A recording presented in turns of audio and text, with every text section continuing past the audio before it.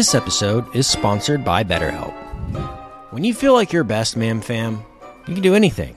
You can accomplish all those goals in your life, make sure your family's good, and even start, who knows, a mildly successful podcast. Sometimes life gets you bogged down. You might feel overwhelmed. You're not showing up every day the way that you want to. But working with a therapist can help you get closer to the best version of you. Because when you feel empowered, you're more prepared to take on everything that life throws at you. The benefits of therapy are endless. It's great to just check in with somebody who can give you some perspective on life, make sure that you're meeting all the goals that you've set for yourself in life. So, whether or not you've been in therapy, now could be the time to give BetterHelp a shot. It's convenient, flexible, affordable, and entirely online. Just fill out their brief questionnaire. You get matched with a licensed therapist. You can switch therapists at any time for no additional charge. Couldn't be easier. If you want an empowered life, therapy can get you there. So visit betterhelp.com slash madaboutmovies today to get 10% off your first month. That's betterhelp, H-E-L-P dot com slash madaboutmovies. Ladies and gentlemen, give me four hyperbolic formations with 90 degree offsets. I'm Kent Garrison. I'm Brian Gill. And I'm Richard Barton. And this is Mad About. Merveys, Merveys, Merveys. You sound insane. You realize that? Yeah. The whole world gone crazy! It's showtime. Mad About Movies is your go to show for all things cinema. Every week we talk movie news, rumors, and rumblings, and we also break down a chosen movie of the week. But don't worry, if you haven't seen that movie, we will warn you before we go into spoilers. And please stay tuned to the end for Week Recommends, in which we suggest something that you need to check out as soon as possible. And remember, you can find all our episodes at madaboutmoviespodcast.com. And remember also to leave a review on iTunes. This week's movie of the week is what, Brian? The big screen adaptation of Ender's Game. They know our strategies. They've learned our weaknesses. And the alien attack nearly destroyed us. That must never be allowed to happen again. Now, Brian, Richard, have you guys did you guys read the book Ender's Game? I don't Yes. know. You uh-huh. did. Okay. Yeah, I read it a couple, of three times. What a nerd. Three times. Gosh. Three times. Probably something like that. I read it in school, and Oh, then okay. I've Yeah. read it. I read it recently, um, maybe two or three years ago. I probably read it another time in there somewhere. It's not like The Hobbit, that I've read. You know, I think on our Hobbit podcast, I, I think I said I'd probably read it at least a dozen times. So it's not it's not to that level. And but, you gotta uh, read you gotta read it again before The Hobbit Yeah. 2. Yeah, this- probably. This, you this know, December, so that's right. That's how I am uh, fi- with a Final Four, a March Madness mystery by John Feinstein. Nice. I've read that stuff. A modern classic. Gosh. So Uh, I I prefer the literary stylings of Mike Lupica. yeah, it's, Those you just stole you- the joke right out from under me. That's okay.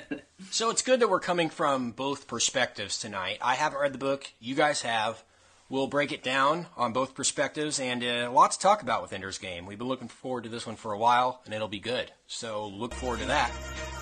But first, let's break down some movie news. Movie news, Yes! rumors, and rumbling. That's awesome! Let the filibustering begin. Uh, guys, since you know, and since our listeners know that this is the official podcast of Star Wars, right? there's always Star Wars news to go over because George Lucas texts me every Tuesday just to fill me in on what's been going on so we can discuss it.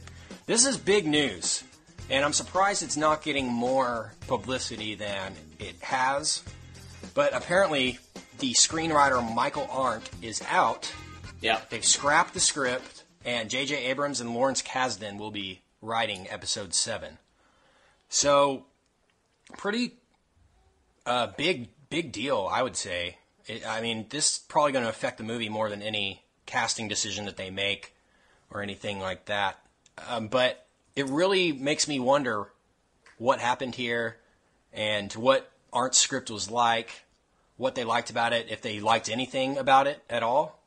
And I really don't know the situation. Brian, have you heard anything about about this? No, I hadn't seen anything. They've been pretty.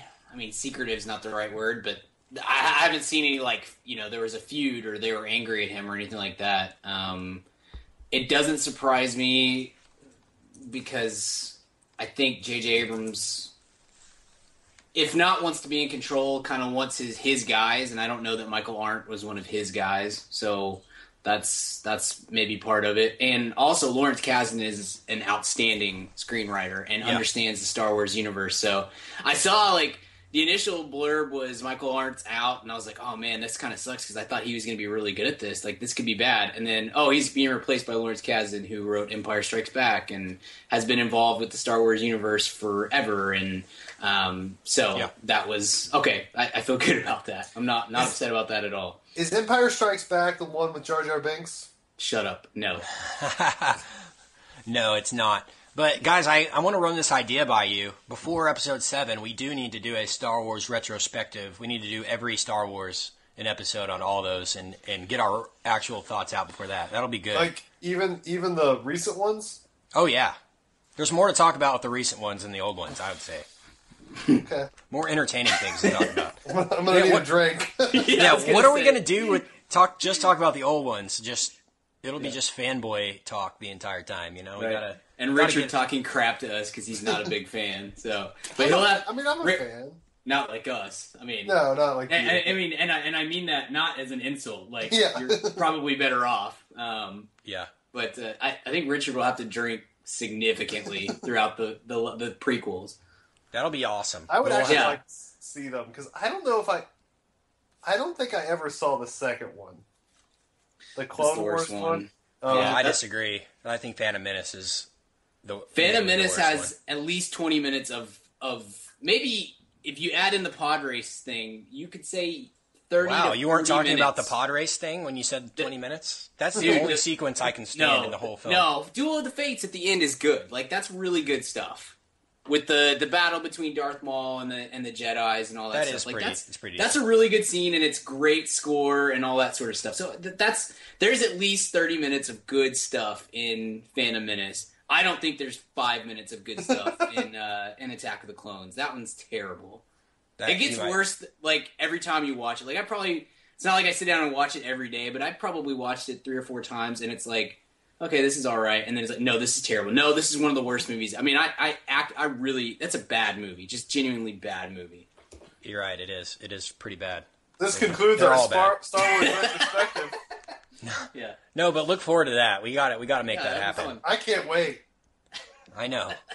Sarcasm ensues, just like every week on this on this show.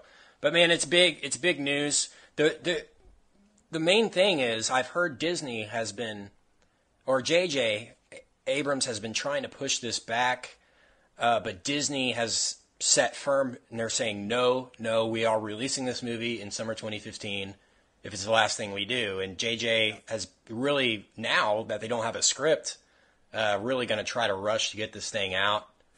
And I've- it, I've that's the heard- last thing I want, really. you Yeah, know? that I totally agree. I did see something because I heard the same thing of them of Disney saying it has to be done summer 2015. But I did see, and I wish I'd marked it. I saw a tweet saying that they that they basically relented and said, okay, uh, Christmas of 2015, they'll go for that. Yeah, so we'll. 'cause as long as it's in their fiscal year, what is it? It's not like Star Wars needs. It's like, well, I would go see the Star Wars movie, that you know, but uh, it's not really summer blockbuster season, so Right. they could Yeah, release exactly. this thing in February, and it would Yeah. it would make. A It actually makes dollars. more sense for them to go Christmas with it and do Avengers 2 in summer, you know, Totally. and yeah. go the Marvel route in the summer and just Yeah. hit it. Well, and huge that's in the I mean that summer we've talked about before, and I'm sure we'll talk about it again. It's just it's so packed with movies. Like it makes sense for even the biggest of movies, which Star Wars is, is absolutely the biggest of movies. Like for them to move out of that, just because why do you want to compete against all this other stuff? Not that Christmas is a slow time of year, but usually not like that kind of ridiculous. I mean, that's the last. I feel like the last time we had a movie like an epic fan go see it multiple times sort of movie in Christmas was probably Avatar. So and Yeah. and Yeah. does that really? Com- I mean, compare? I don't know. Sure. but I mean, obviously it's better, but yeah. I was. Right. I'm currently a senior in film school right now, and and today I I got the chance to meet somebody. A guest uh, speaker came and talked. the head of Fox Legal, uh, Gary Roberts, who's a is an alumni of of my school, and he's been at Fox Legal for 20 years, and he was you know talking about legal aspects of how they get sued for movies. He mainly talked about Borat. They got sued like 80 times for Borat, and they're getting they gotten sued a ton for Avatar because every everybody thinks that they thought of Avatar Right. uh, which they pretty much did. I mean, Cameron ripped that movie from 50 different sources. I mean, Yeah, it's I mean, very it's- obvious. Every Native American He all he white did was story ever told. all he did Right. was mix Pocahontas and Ferngully, and there you go. Yeah, yeah, exactly. And the album covers of the band Yes. so. And so he was he was talking about the Avatar sequels, and he, he gave us an exclusive here that I can break on the Mad About Movies podcast, and this is no joke. Exclusive news for Avatar 2. Avatar 2 will take place entirely on Pandora. There is no Earth whatsoever in it, which I think sucks. And there, he also said that they're in a huge battle with Sam Worthington right now because oh, Sam Worthington wants more money. And so they're having this huge debate at Fox right now, think, thinking to themselves, can we just make this movie without Sam Worthington since he's an avatar the Yes. entire time anyway? Yes, you can. Which I, I think you totally can. And but the argument that he raised was, well, technically, isn't that Sam Worthington's likeness that you're using, since it is his face? And so they're in this big debate right now, and the movie's coming out in 2016, and we've had this talk on this podcast before. Is anyone going to give a crap seven years after Avatar about Avatar 2? And and I think they're in for a big surprise. The answer is going to be, I mean, it'll be it'll be number one. It'll make money, Right. but I just don't think it'll be the big success the first one was. No. And you know they've got these greenlit for like four sequels through 2020, so it's just awful. I, I I'm not looking forward to them at all.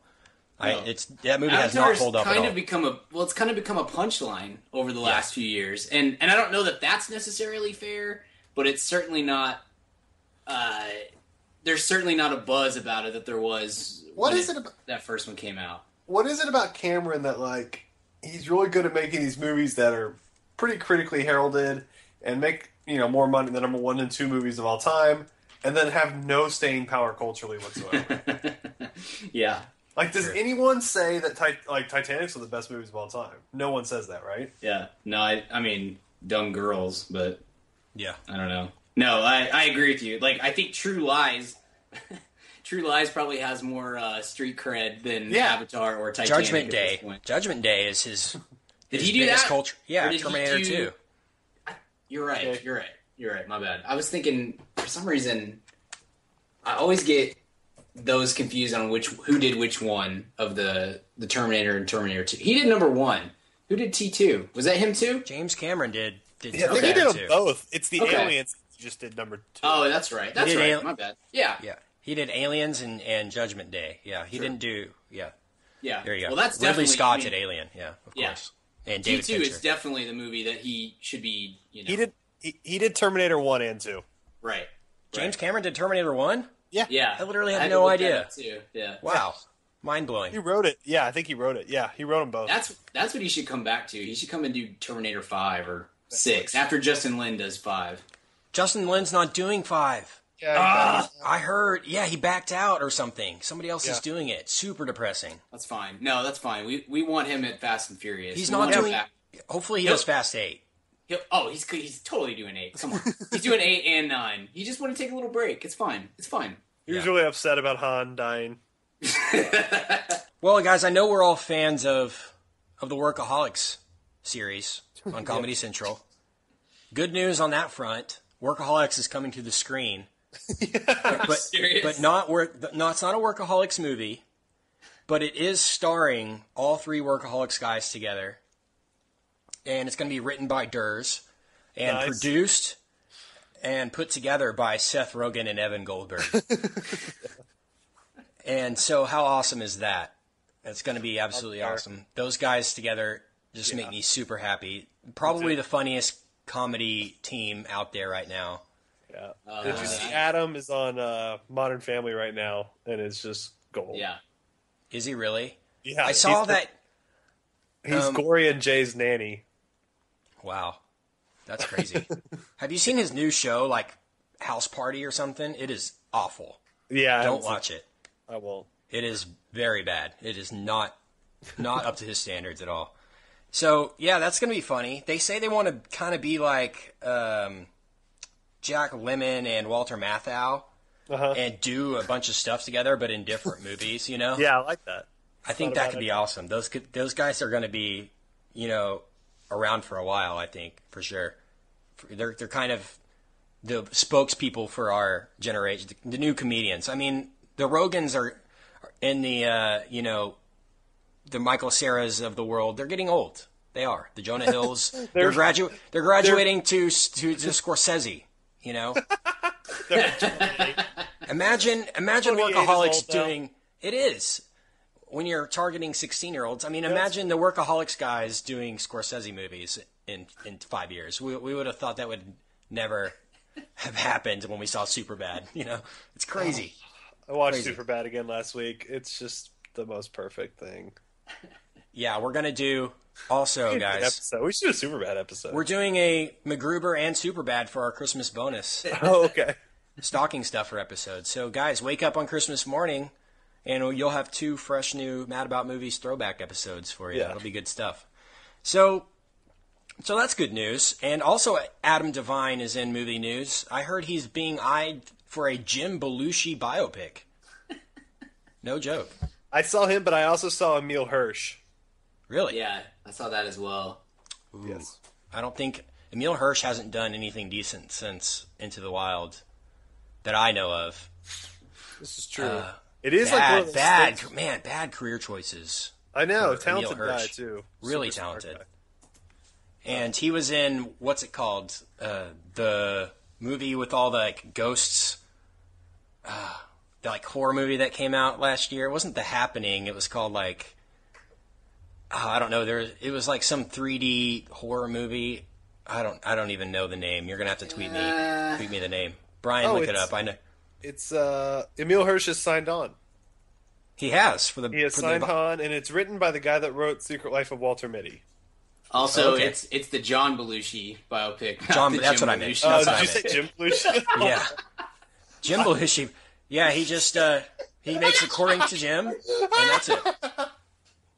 There's like Catch that. 40, 45 minutes on according to Jim. He goes to according to Jim, and that and goes home, and that's pretty much the movie. There's a whole there's a whole whole segment on how he got attacked by a dog on the, the set of K-9. That's gonna be awesome. Is there anyone worse than Jim Belushi? You know? I've heard he's like a colossal jerk too. yeah, There's a bunch of stories you can find online about Jim Belushi just being a total, you know, mean person. And like, come on, man, why? yeah, Ah. exactly. But I don't know if you guys are we're into this at all. I got one more thing to mention for for movie news before we before we talk Ender's Game. You guys are into Ender's Game. That was a book of your childhood. Well, a book of my childhood is making its way to the big screen. Finally, been waiting years, decades even for this. Captain Underpants Oh is wow! making its way to the big Nice. screen. And uh, the Stars win in a shootout against the Bruins. On a side note, good, Nice. good stuff. so, man, Captain Underpants was hilarious when I was growing up. I'm sure if you're a kid of the '90s, like like we were, you know, every book fair, I would pick up the latest latest Captain Underpants. I don't know if it's going to be live action. Yeah, book fairs, man. Definitely the worst kind. As someone that comes to loves to read, I still say book fair, worst type of fair. I don't know. Greatness. Ever best way to uh, go to, skip class in elementary. Go to the book fair. This is true. Scholastic sets it up in the library, you know, overpriced, you Yeah. know, page turners, greatness. So, yeah, Captain Underpants is coming. I don't know the details really if it's going to be animated or anything. I think it's going to be sort of the same vein as Cloudy with a Chance of Meatballs, which is pretty decent little Yeah. little series of movies. If you've seen either of them, they're pretty well done, pretty funny, entertaining little family films. So we'll have we'll have to look forward to that. And um, guys, when are we going to do our Cloudy with a Chance of Meatballs two podcast? That's what I want to know. Yeah, one of these days. Just When number I four like the comes first out. one. yeah, yeah. Bill Hader's great in them. Yeah, Yeah. They're they're like I said, they're funny little little Yeah, let's movies. enjoy. They're Better, better uh, Uh, Bill Hader vehicle. Cloudy with a Chance of Meatball or T-Mobile commercials? Ooh. I don't know. Meatballs. Wait, how do you choose? I mean, yeah, that's how do you how do you choose? Hey man fam question for you. Do you own a small business or are you a boss? Are you looking to hire awesome people but you just can't find somebody to fill that role? Well, let me tell you about ziprecruiter.com. With ZipRecruiter, you can post your job to 100 plus job sites all with one click. In fact, over 80% of jobs posted on ZipRecruiter get a qualified candidate in just 24 hours.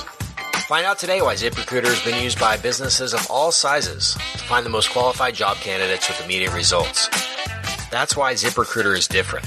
Unlike other job sites, ZipRecruiter doesn't depend on candidates finding you. It finds them.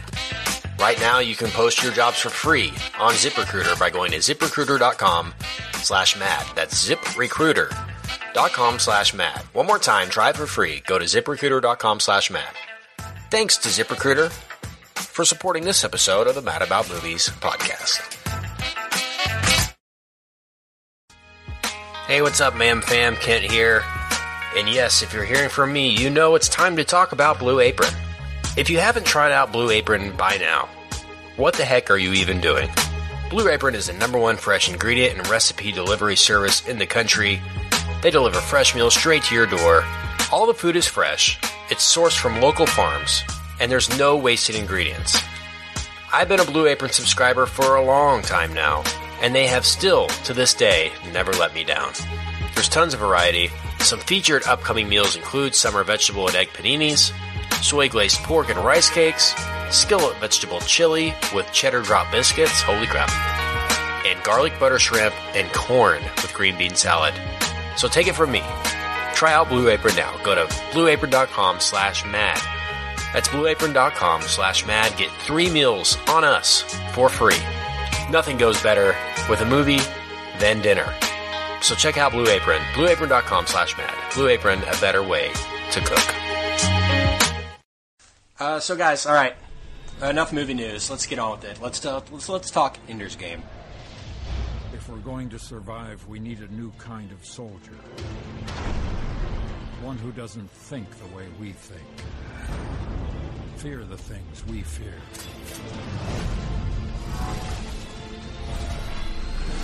One the enemy would never expect. We need minds like yours, Ender. You'll be the finest commander we've ever trained. So I'm not the first. No, but you will be the last. So I'll let I'll let you guys I'll let you guys go first on this one. Uh, Richard Varden. Oh wow, me first. Wow. Yeah, you I go- know. you Bri- go first. I've I know Brian and I have been hogging these these um, Yeah. movie reviews for the past For, our, few for our listeners that don't know, we had a pretty substantial contract dispute this week with. I uh, did. Richard- We get paid. We get paid by the word. Yeah. And so I was. I've been uh, actually owing money to the podcast lately. So Richard, I'm going to get let you get the first word on this one. Sure. He- Here you go. Um, okay. Tell us what you tell us what you Yeah. thought about Ender's Game. First impressions. First impressions.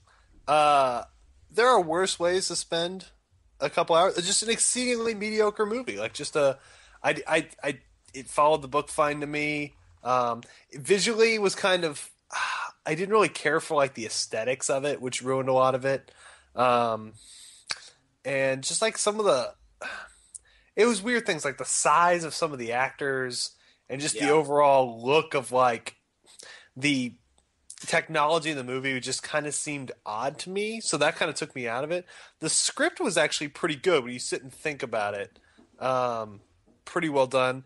Could have used a little less of harrison ford screaming. Seemed like he screamed uh, through the whole movie.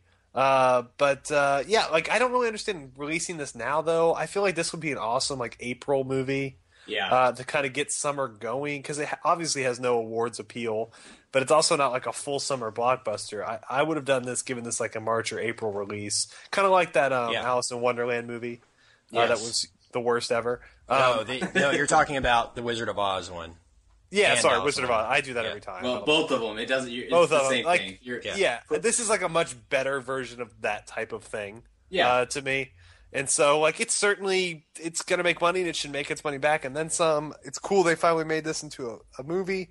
Um, Ender was fine. I didn't find him to be great or bad.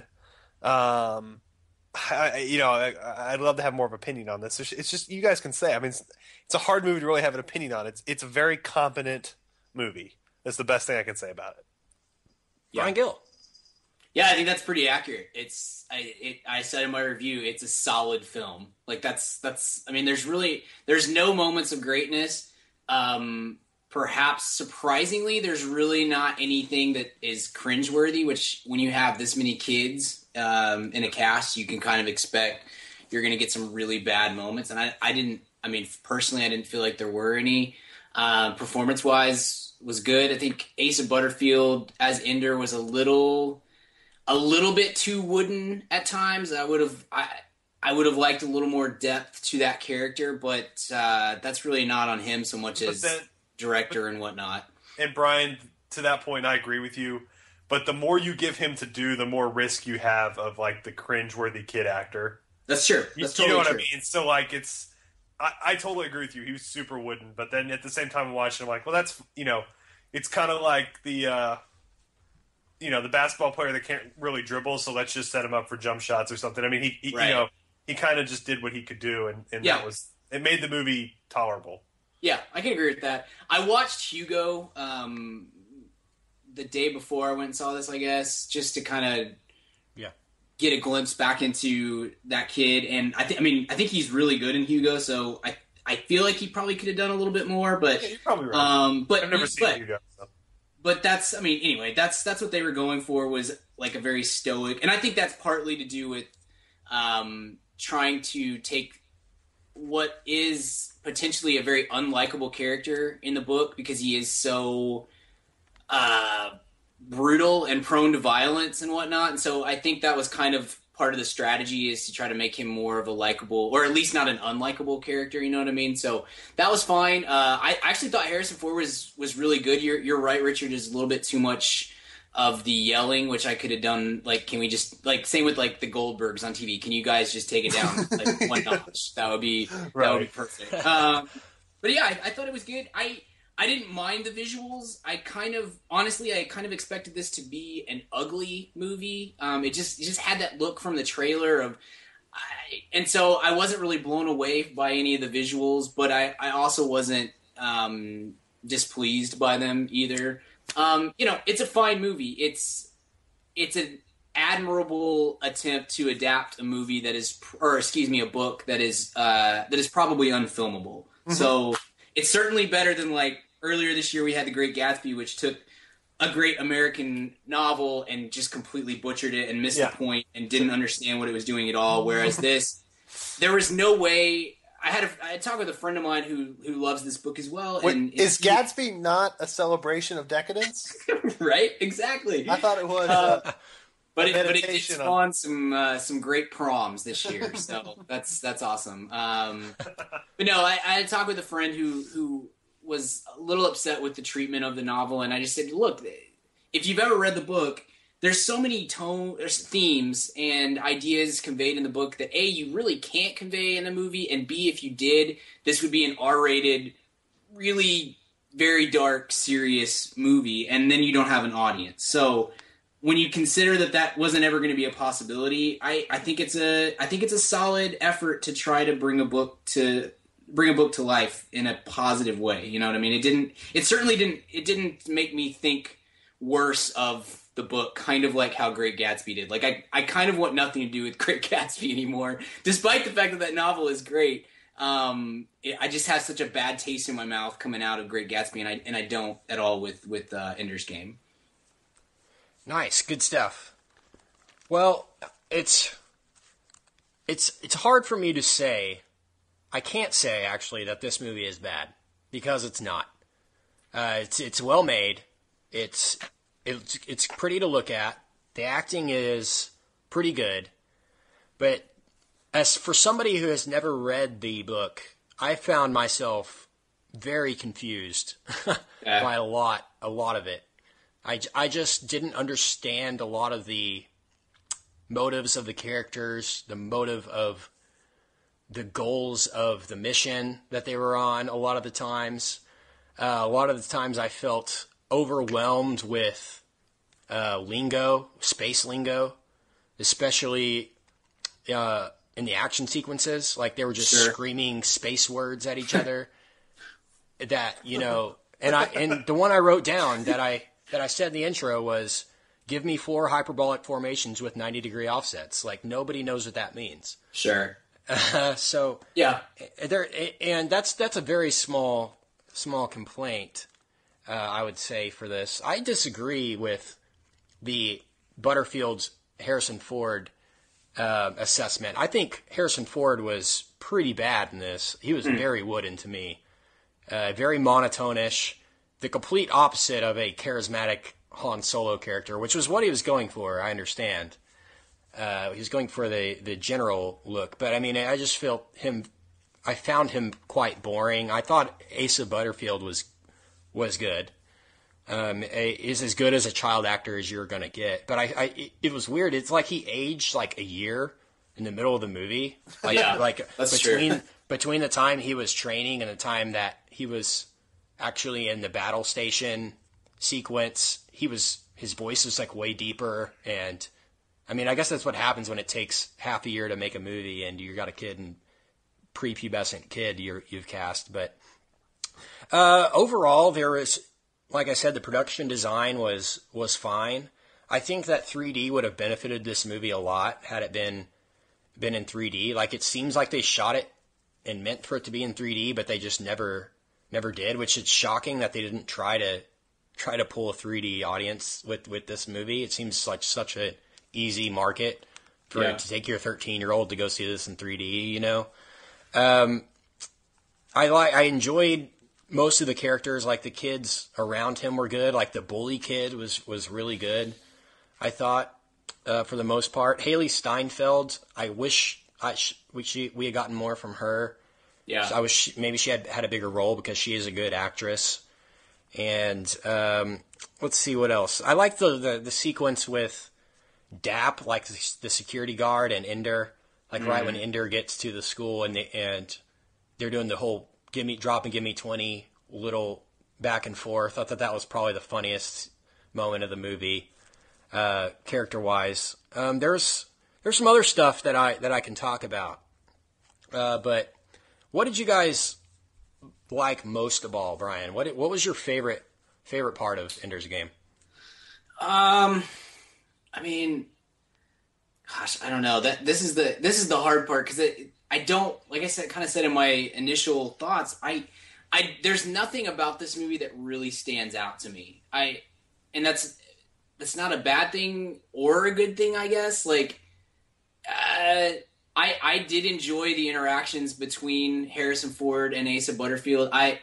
I can I can totally see where you're coming from, Kent. I actually I really I thought Harrison Ford was pretty good, and I thought that they had, um, they had a pretty good rapport in in what they were going for with the movie. I honestly I feel like the movie's best moments. I mean, obviously the action is is kind of cool. Well, the best stuff. moments are between Ford and Butterfield. Yeah, that, that yeah, is it- true. Yeah, and I, I enjoyed the. I, I I'd hesitate to call it chemistry because that's kind of that's a little bit weird, but um, I enjoyed the interactions between those two char- uh, actors and characters, and I felt like that was maybe the only part of the movie that tr- that really succeeded in um, giving off some of the impressions from the book on film. Like I, I feel like they took this book and just streamlined it to the most accessible level, which I totally I like I agree with. That's like what you would have to do to make this this movie work.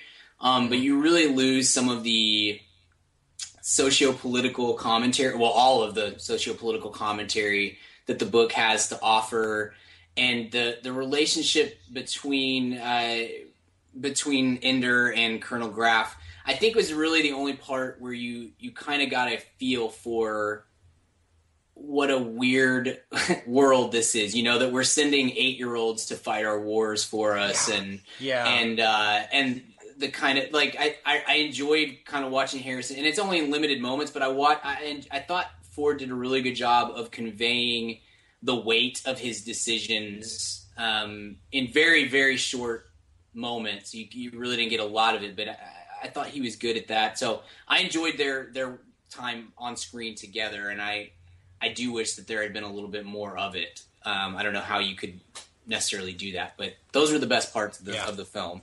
Yeah, I, I, the film got really good.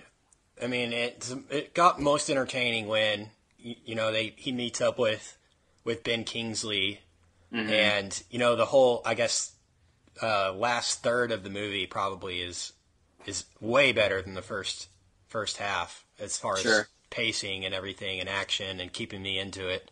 Uh, I really didn't. I mean, I understood it. It felt very kiddish at the beginning with like the Qzar training uh, missions and all that. I mean, it, probably in the book, it's probably a lot better, but it just felt I didn't understand the goal of the of the training.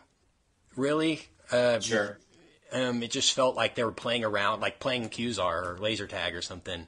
There was no like risk involved Totally. at all. And but what was most confusing about about the motives of the characters, and you y'all can probably fill me in on this. I haven't read the book, and I'm sure it's it's discussed in the book. If if Harrison Ford and Ben Kingsley and Viola Davis and and whoever, if they know what to do and they know what to look for um, in these kids, why don't they just do it themselves? you know what I'm saying? Yeah, that's a Like, that why doesn't Harrison. Ford just command Yeah. the, the ship if he knows, if he's basically telling Ender what not to do and what to do? Like, he's, he's they're using the kids as like a puppet almost. Like, why don't they just blow them up themselves if they know how to defeat them? Do you know what I'm saying? Like, like like Richard said, I, I was interested about this kid because obviously having seen the book, I see it from a diff- I see the movie from a different perspective than Yeah. Than uh, than you do. So I I was interested to see if people who hadn't read the book could understand really what was going on, or not even understand, but like have an appreciation for it. Yeah, in the book, it's it's a much more well thought out. There's there's a lot more better reasoning for why it has to be this way. And really, what it is is that Ender is a he's basically a strategic savant. Um, he's a it's almost to the point of like Rain Man, but with a little bit better social skills. Does that make sense? Like this is Yeah. what he is basically his entire brain thinks strategically and that's all he does. And so that's why he's the the ideal choice for for the you know the command of the, of the army and everything is because he like you're totally right. In the movie they're telling him what to do for the majority of it. So why don't you just do it yourselves? In the book it's a it's an instinct that he has that other people do not basically. So I thought, I mean, obviously, I guess Orson Scott Card is a great, great author, but could couldn't, couldn't he think of a better name than Battle School? And like the Battle Room, you know, like he's Harrison Ford's like, "Welcome to Battle School. now you have entered the Battle Room." Like, come on, man, that's It was written in the '80s. yeah, know? I guess that's what I'm saying. It's just uh, I thought- found that kind of cheesy. Uh, so my, my one of my main questions about the the Ender's game, the actual game, the video game tablet that he's playing on and, and stuff. I was wondering, I was like, what kind of game exists with no boundaries? Like, you, I mean, other than like Grand Theft Auto, which has boundaries. I mean, there are only certain things you can do in that. Um, but I'm glad they did explain it well in the movie. Like Viola Davis says that the stories in the games reflect the emotional reality of the person playing the game, which Right. made sense to me, and I'm glad they included that because had they not, I mean, I was just I just didn't understand how that was a barometer for who they were going to pick if there's no if it wasn't built if it's just an open world. You know what I'm saying? Uh, I just didn't understand the um, the allure of the games, the the test games that they were that they were playing. Um, what else? What else should we should we talk? I liked. I really liked the the third act. I thought it was pretty strong. Yes. Um, especially, you know, the I guess the graduation simulation is what they called it. yeah Um, the reveal there, and spoilers coming up now for Ender's Game. The reveal, I was super bummed. I was super bummed out during the third act, and they're like, because I knew that that was the last battle sequence we were going to get. And I was like, are you kidding me? They're going to give us a battle sequence at the end of this movie of a simulation. I was like, you got to be effing kidding me with this. Yeah. But they, um, the reveal by Harrison Ford to to Ender that it was real the whole time, greatness. And I can see like if you're reading the novel when you get to that part, you're like, wow, Yeah. Yeah. awesome. But explain to me the ending where um, Ender goes back to the planet, I guess, and Excuse me. bless you, Thank goes you. back to the planet and Doing coke over here. rescues. me too. It's hard. It's hard to get through these. Yeah. Gets goes to the back to the planet to like rescue the bug species or or something. Yeah. Like why did he why did he rescue the people that are eventually going to destroy us? You know, like I don't like explain that to me, Brian or or Richard. It, it seemed very it, Richard, or do you want me to- anticlimactic at the end. Like the Oh, you- end, like like the reveal with Harrison Ford and the argument between him and Ender, great, awesome. And then it just took a nosedive at the end where he goes and rescues the. It felt very Starship Troopers ending to me. Uh, Yeah. cheesy kind of. This movie is very much like Starship Troopers. I don't know if Yeah, you realize agree. that. I totally agree. really, yeah. really is. Uh, but Except so, not enough Casper Van Dien. Right. Yeah, that's that's true. That Which is- I have, I have that problem with most movies. not enough Neil Patrick Harris for me. Yeah. Gosh, the lost years for NPH. yeah. Um, no, I, I think the the main concept there is you saw that quote at the very beginning of the movie, which is pretty much directly from the book of you know to really understand your enemy, you have to come to basically you have to learn to to have empathy and love your enemy, and I think that's yeah, that's the point. From that, basically, what he's going on to do is try to find a a suitable world to like restart that uh, race or Uh. that society or whatever, because through the savagery of the world that he lives in, and I think that's the point where the the, the movie really missed. Like, there's just it wasn't dark enough to like really reflect um, the themes of the book. That would be my major complaint, but.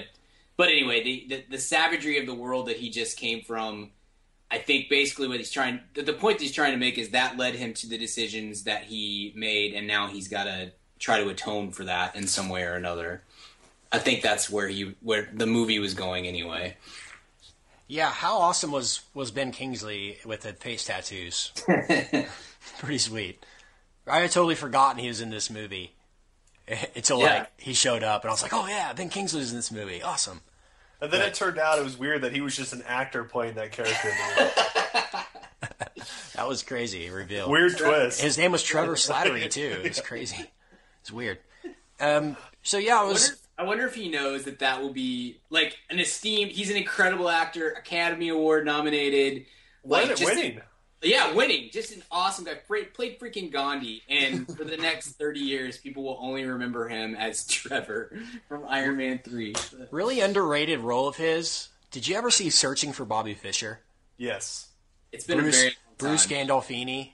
He plays the the chess teacher. That's a excellent movie, Yeah, it really is. a good and movie. I'm I'm gonna recommend that. Uh, not my week recommend, but man, I mean, I think it's 100 percent on Rotten Tomatoes. really Like, anything on Bobby Fischer is gold. Documentaries, YouTube clips, films. yeah, that's an incredible, very Him well done screaming movie. at Jeremy Shaft. Joe Mantegna is amazing in that movie too. Yeah. Randomly awesome. That's a great, great film. But anyway, that's our Bobby Fischer podcast. See, we Your father was a snake. So what? One of my questions going out or leaving this is, had this movie not had Ben Kingsley, Harrison Ford, Viola Davis, Hailee Steinfeld, Asa Butterfield, who are all Academy Award caliber performers, would we like? Would you like this movie? Like if these were just no-name people giving these same performances, would you feel the same way? And I feel like that's why we, when we see the trailer, we were we made sarcastic remarks uh, um, last um, spring when when the trailer debuted that like man how many more academy award winners are they going to get for this? Well i think you kind of had to had to do that to give it some credibility you know? Uh, it's just i i don't know. Like i haven't read the book and um, so that's the perspective i'm coming from. But if y'all say it's a great adaptation then then i totally I totally It's not a great adaptation. It's just it's A- a about as decent good as you're going to do with that book Totally. Yeah. in in Hollywood with that much money on the line. Yeah. it's just you you know it was Right. perfectly acceptable.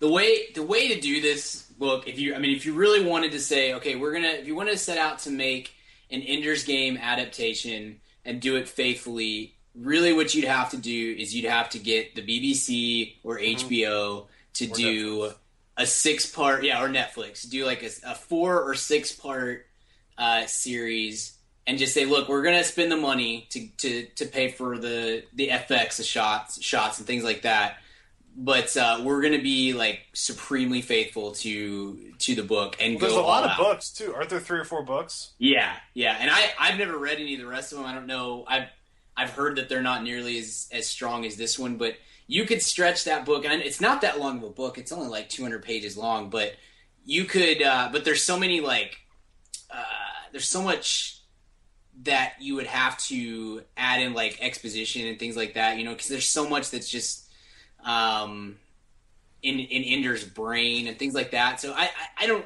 You would have to, if you really wanted to go out, you'd have to say we're going to do four episodes, four hours basically on Netflix, HBO, BBC with a good budget, and we're just going to go as dark and as serious as the as the source material allows us to go, and not worry about audience. Obviously, that's not something that's going to happen, but that's to give you a, an idea, Kent. That's pretty much how you'd have to do this to get a great adaptation. Like it just wasn't gonna uh-huh. it, it wasn't gonna happen. And so I I think this is a very I think this was as good as you're gonna get for for that for the material. You know what I mean? Like it, Sure. it, it works. It's not faithful really in a lot of ways and it, it misses the mark, but I don't think there was any way they could hit the mark. Yeah, I agree with with Richard's initial thoughts. It's just an exceedingly mediocre movie. Like it's not one that I wouldn't wa- watch again, but it's not one that I'm gonna do- go pay money to see in a theater again. Like it's it's Totally. it's, it's a there's definitely worse ways to to spend a, a couple hours, um, Yeah. especially this year with the movies, some of the movies we've done. But the the audience that I saw this with exceedingly elder, elderly. Like Yeah. every person but me in the theater was like over 50, which I thought was kind of weird. I thought, I mean, maybe I guess this is a book of the 80s. Maybe it's it was more popular back then, It- more it of a was, pop and- culture thing. It was, and it and it's a. I mean, I'm surprised that you guys didn't read it in school. I think we did when like tenth grade, maybe something like that. I mean, it's it's one of those that um, it has the appeal to the sci-fi nerds, and it also, you know, it's the rare book that appeals to a, a large audience outside of just sci-fi. Um, and so I think it was a big deal when it when it came out. Sure. Um, So that that doesn't surprise me. My my audience was very similar. Kent. We we had a lot of of uh, of older older people weird. in our theater. so the movie only made 28 million dollars last weekend. It was number one, but to put it in perspective, it made less than After Earth made. Yeah, Wow! Wow! Wow! Wow! Wow! which is crazy to think to think about. I mean, half of After Earths or more than more than After more than After Earth is all Will Smith being attached. I mean, not because Yeah. people actually wanted to see that movie, but yeah, I don't know if it's going to justify. I doubt it's going to justify a sequel. I mean, it's had to have been at least a hundred million dollar, hundred million dollar movie. yeah. It was 110. No, and yeah, I don't I don't It's think made- it's done well enough to spawn. it's made a- 38. yeah, yeah. it'll make its money back. Um, Yeah. and it's it's currently fresh on Rotten Tomatoes, just barely, but. It, yeah, you're right. It's not going to spawn a, a franchise. I don't. I don't think. and that's fine with me. Which is That- fine. That's yeah. totally fine. And maybe Yeah. we'll look back in, in five years and be like, you know what, Ender's Game was actually awesome. You know, like maybe it's just one that we'll we'll look back on and, and think it was is better than we initially thought. You know, maybe maybe I'll have to watch it again and maybe I'll understand the lingo next time, which I probably just- will. This is just a movie that they had to make because of the book, because it's sci-fi, because it's outer space. You obviously have to make that to a film, right? And they had to do it at some point in the next, you know, in the last twenty or thirty years. This has to be made, Right. and they made it, and it was fine. Like it could have Yeah. been much worse. So, like, Yeah. you know, that's it. Oh, you know, totally agree. That You can. It can always be worse. Yeah, it could. it could always actually That's a be good After point. Earth. Yeah. Could, could have been after Earth. Yeah. True. Um, at least Shyamalan didn't direct it. Right. Uh, and who is Gavin Hood? What other stuff has he done? Wolverine. The uh not the not Oh, this Origins? year's Wolverine. Oh, yeah, yeah, yeah. Origins Wolverine. Okay, there you go. So I, I, I before the movie started, they they they're throwing trailers at us. Uh, a new trailer for Monuments Men. I saw actually looks decent. It looks way better than the last trailer I saw. They've updated it for with the new release date and everything. Uh, yeah, we're gonna have to give that one time, but that one looked exciting. But the other trailers that I wanted to, I wanted to end on this. Um, this movie with Aaron Eckhart, I Frankenstein. Oh my gosh. Did you guys see Oh this my- trailer? Yeah, I've seen it multiple times. I just don't understand it's stalking like me at the movies. Like Yeah. every movie I go to, I'm seeing this preview. I just don't understand like studios thinking that people want to see this. No. Like like it's a movie like when you see the trailer and the, the effects and the CGI, you're like, holy crap, that must have taken forever to animate. Like there's it's just throwing CGI at you. And why why go to all that trouble on a subject matter like it's not even Frankenstein. It's not even like a take on Mary Shelley's Frankenstein. It's like a futuristic like Yeah. robot Frankenstein, Aaron Eckhart. And this movie 47 Ronin with Keanu Reeves as well. Uh. Saw the trailer for for it. It just looks looks horrible too. I don't see a market here at all. And it was just like I, I said, I was in the movie with with adults, and when both those trailers ended, it's just audible groaning in the in the audience. Like yeah. we're, we're going to be making fun of these those two. I have a feeling come come January, but I just don't see why if you're going to spend money on on a on a movie, why it has to be that style of movie, like the Underworld uh, Yeah. Um, Resident Evil style. Like, Yeah. I feel like that's really fading out, and then like at the end it says like coming in 3D at the end of the trailer, like Right. like that's something Yeah. special anymore. Like oh, it's Yeah. in 3D. We're gonna have to go see that one. You know, At so- least, at least in I Frankenstein's defense, they got the release date right. Like they're just gonna dump it in January, and yeah. you know some poor schmucks will go see it because they don't have anything better to do. Forty Seven Ronin, like says this Christmas? Christmas? yeah. Well, and it's been pushed back a bunch of times. Um, and I'm I just I googled while you were talking there. Would you guys care to take a guess at the reported budget on Forty Seven Ronin? Oh, two hundred million. Well, well yeah, one seventy five. 225. Wow. Oh my goodness. I gracious. feel like that movie they're they're they made it specifically for Asia. Yeah. Like China, be... Japan, Korea is going to eat that movie up. It's like yeah, samurai and they love Keanu Reeves too. if if I set the the domestic box office open at 13 million dollars, would you take the over or the under? Under. I'm going to say 8. It Eight depends on the weekend it comes out. It It's, depends on it's what company Christmas, it's- isn't it? I think it's Christmas. Like, oh. Yeah, Oh. it's December 25th days. yeah. Oh no, it, it'll make less than ten. okay, That's, easy. that's what I would go with too. I I, I, would feel say like nine million dollars. yeah, I would say supposed between to eight come and out- eleven. Originally, keep in mind this is the movie Keanu was filming when he made that documentary about film versus digital, yeah. and Yeah, that has since come out and gone to PBS. And this movie is still not out. It was initially supposed to come out in November of 2012, then got moved to February of earlier this year, and then they had to work more on the 3D effects. I don't know what I'm looking less forward to: Forty-seven Ronin, I Frankenstein, or Seventh Son starring Jeff Bridges. like those, those have got to be the three worst trailers I've Yeah, ever seen. Jeff Bridges, life. man, gosh. what are, you, what are we doing? Hope hope you enjoyed 2010. Yeah, yeah. Seriously. Got your Oscar, followed it up with an even better performance, and then I'm I'll see you guys later. I'm done. Yeah. So, but it's good. I mean, look, we we are talking about, you know, this 47 Ronin movie. It does have Keanu as the lead, but it's got a really strong supporting cast. Um, Tadanobu Asano, uh, Rinko Kikuchi, uh, Hiroyuki Sanada, um, Kao Shibasaki.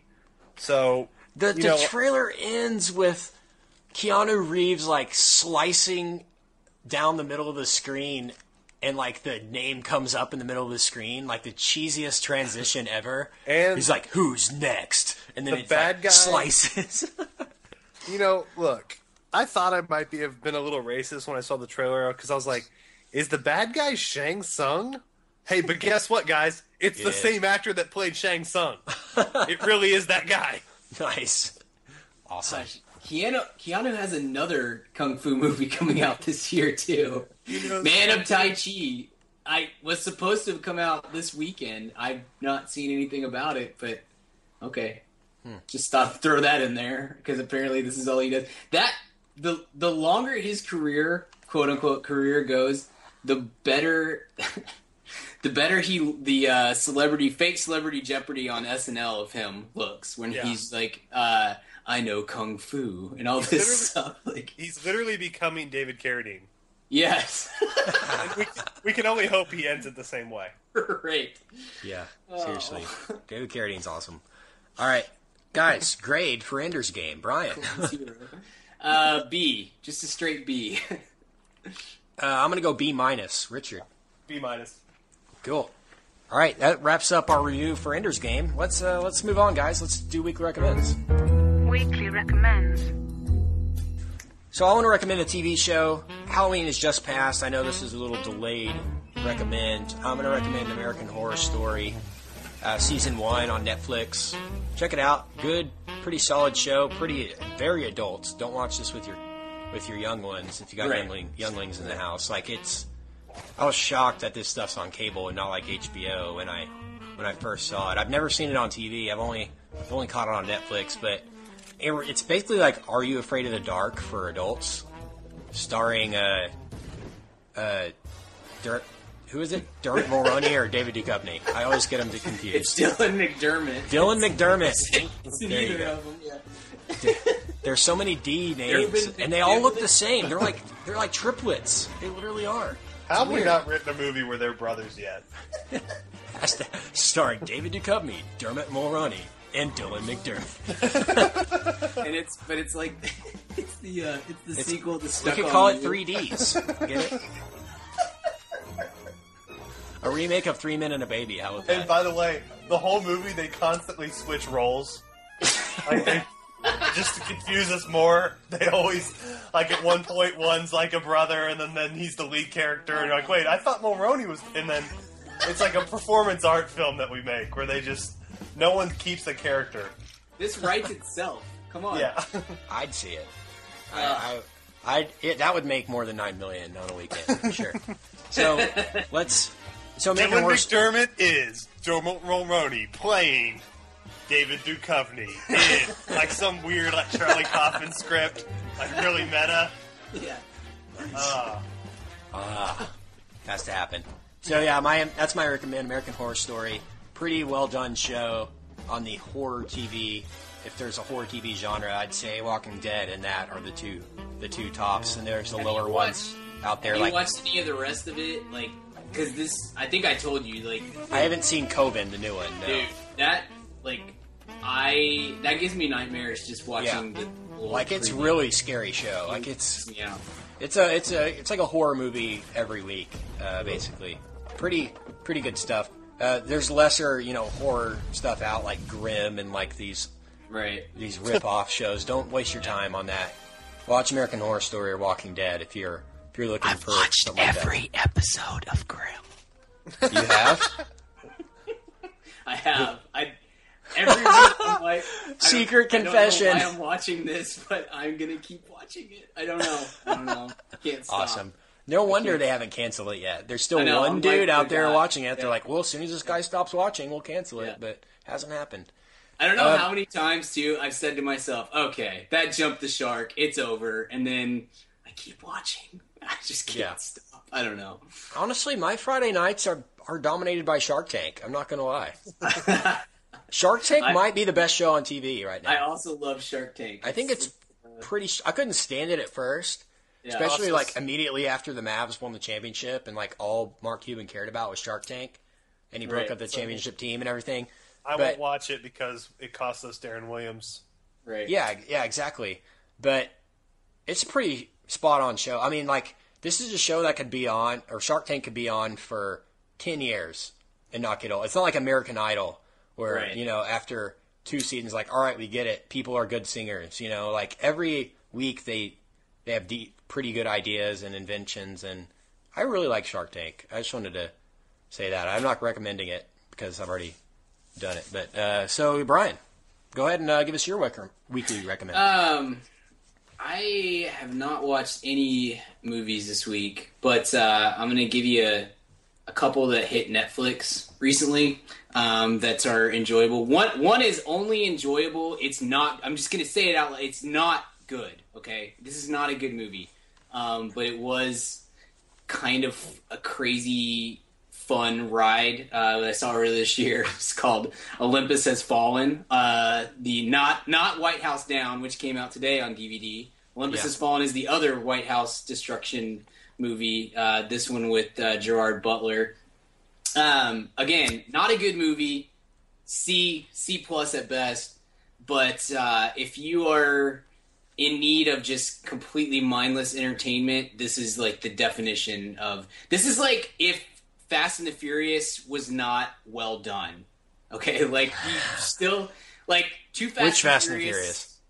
all of them, but like the series as a whole. Like Yeah. Too Fast, Too Furious is the worst one of the series for for me, but I still enjoy watching it because it's just kind of ridiculous and Because you love Vans and cargo shorts. right. Yeah, I can't I can't help it. And I love Tyrese Gibson and his his just horribly delivered one liners. He's gotten so much better. Yeah, he But has. uh, man, he was so bad in that movie. But yeah, Olympus Has Fallen is kind of yes, it's kind of that level of just look. I've got two hours to kill, and uh, I just I don't really want to pay attention. It's it's an it's an enjoyable watch, um, if if not good. Uh, but the other the other thing that hit Netflix in the last couple of weeks that we've talked about before, I'm sure. So I'll just quickly say, uh, if you have not seen In Bruges. It is now available on Netflix Instant, and it is Oh. tremendous. Uh, truly one of the best movies of the last decade. It's hilarious. If you have a negative opinion of Colin Farrell, it will completely change that opinion.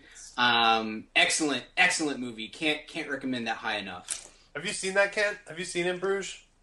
No, it is on my queue. Oh, Ralph Fiennes dude. and uh, yeah, no, it, I saw it. It popped up when uh, it- like, Netflix had a bunch of good movies like a couple days ago, Yeah. like Flight and uh, and Olympus Has Fallen It was on there, and In Bruges is is one that I've that I've circled, and and it's it's literally number two on my queue right now. So it's Yeah, you got to watch that, dude. Oh, that's that's an outstanding movie. And I, Richard, I don't know if you agree with this or not. I, it gets better with each viewing. Yes. Like oh, the I script hadn't watched incredible. it.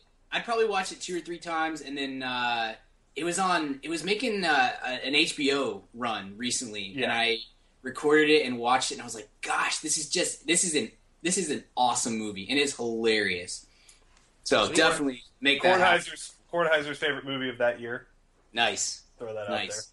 That was 2008. Okay, no wonder I hadn't seen it. Like literally from 2008 to 2010, I probably saw four movies. I'm not joking. so there are so many movies that I need to that I need to see. So Oh yeah, that, that, that's one is definitely one I'll that one's a must see. Definitely. Yeah, awesome. Richard, recommend.